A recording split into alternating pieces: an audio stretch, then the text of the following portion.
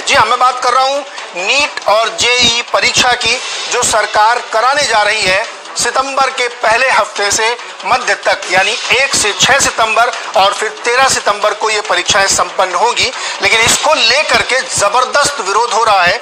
छात्रों से लेकर के राजनीतिक दल तक इसका विरोध कर रहे हैं और विरोध के स्वरूप में वो ये कह रहे हैं कि इस वक्त जब कोरोना बहुत ज़्यादा फैला हुआ है आने जाने की दिक्कत है तो इतनी बड़ी संख्या में 25 लाख छात्रों का मूवमेंट और दिक्कत पैदा कर सकता है। इसलिए यह परीक्षा टाल दी जानी चाहिए। इसको भविष्य में कभी आगे कराया जाना चाहिए, क्योंकि अभी परिस्थितियाँ अनुकूल नहीं है।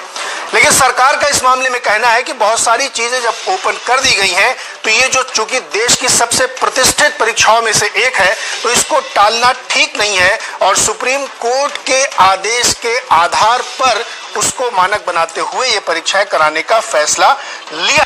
एक बड़ी घटना ये हुई कि विपक्ष के सारे दल एक हुए और सोनिया गांधी के नेतृत्व में तमाम उन मुख्यमंत्रियों की बैठक हुई जो यूपीए के साथ हैं और उसमें यह तय हुआ कि वो कोर्ट के आदेश पर एक पुनर्विचार या तो दिलचस्प बात यह है कि एनडीए के एक सहयोगी दल जो बिहार से हैं, उनके जो अध्यक्ष हैं उन्होंने भी ये कहा है, मैं लोक जनशक्ति पार्टी की बात कर रहा हूँ, उनके अध्यक्ष ने चिराग पासवान ने कहा है कि परीक्षा फ़िलहाल टाली जानी चाहिए। इसी पर आज बातचीत होगी और परिचय करा दे आपका हमारे साथ जो मेहमान जुड़े हुए।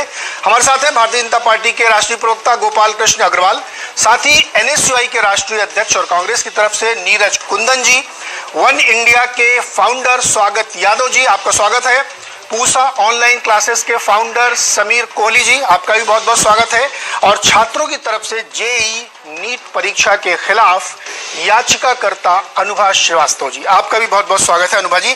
और चर्चा शुरू करें, इससे पहले सिर्फ़ एक ही निवेदन है कि बात पूरी हो जाए, तब आप दूसरे की बात को काटेंगे तो ज़्यादा सही रहेगा, लेकिन आप अपना पॉइंट दमदारी के साथ रखिए। अग्रवाल साहब, जान ज़्यादा ज़रूरी है कि परीक्षा तीस लाख से ज़्यादा केसेस हो चुके हैं और आपको लग रहा है कि 25 लाख छात्रों का मूवमेंट करा दें।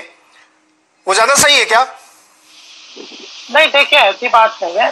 देखिए कोरोना जैसी त्रासदी जो है वो कोई दो दिन पंद्रह दिन एक महीना ऐसा नहीं लग रहा। अब लंबी चलने वाली वो है।